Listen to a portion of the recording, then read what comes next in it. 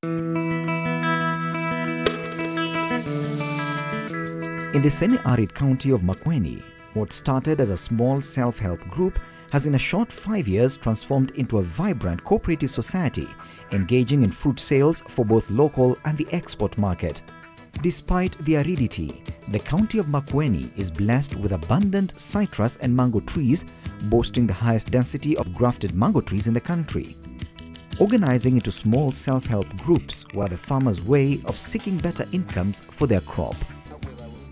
After several unfruitful ventures, a determined group of farmers approached one of the Horticultural and Food Security Program Consortium partners, SNV, for advice on the best route to effective fruit marketing. Farmers suffer a lot of post-harvest losses. I would not say it's only post-harvest, but there's also a lot of pre-harvest losses. In actual sense, they said the pre-harvest losses are much more than post-harvest losses. So this project wanted to support or to mitigate on post-harvest losses and uh, create uh, better mechanisms and management of uh, farmers accessing the domestic markets and also the regional markets. With SNV on board offering advisory services, initial analysis revealed the areas requiring intervention. SNV went to work transforming the self-help group into the cooperative society it is today.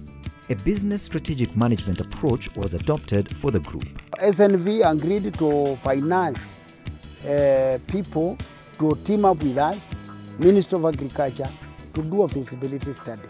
Uh, that was followed immediately by a business investment plan. That was followed closely by a business strategic plan, which was done and financed by SNV.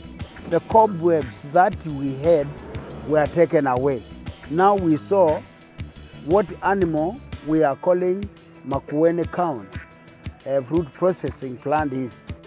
The group's business plan came with practical solutions that the Horticultural and Food Security Program has been helping the group implement. We supported them in having an input store where the farmers, with or without money, they could still access uh, the inputs at the right time.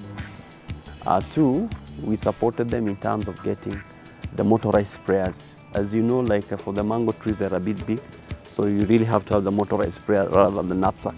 The knapsack does not get there. The other aspect that uh, we supported was through capacity building. Institutions to do with especially the smallholder, you'll have all the right uh, maybe uh, initiative in terms of market and all that. But people tend to side sell a lot and do so many other things. They have really packaged us. One, through ideas. Two, training, exposure, and even uh, negotiating on our behalf whenever they locate somebody or an organization that can help. They have blown the whistle Uh, on our behalf. Designed with the technical assistance and guidance of the horticultural program, the construction of five collection centers serve dual purposes and aim to make the program sustainable. Those collection centers will be training centers for the farmers to impart knowledge, to impart any change that could be, you know, come, you know, be brought by technology. With quality fruit assured, the next area of intervention was in facilitating the group's access to markets. Besides uh, doing domestic, domestic I know they've done it severally, but uh, I mean uh, Kisumu, Nairobi, Eldoret, Mombasa, they've been doing it. Uh, they've done to Dubai, they've done to Saudi. Yeah, but we are telling them even Tanzania and uh, Uganda, Southern Sudan, it's doable.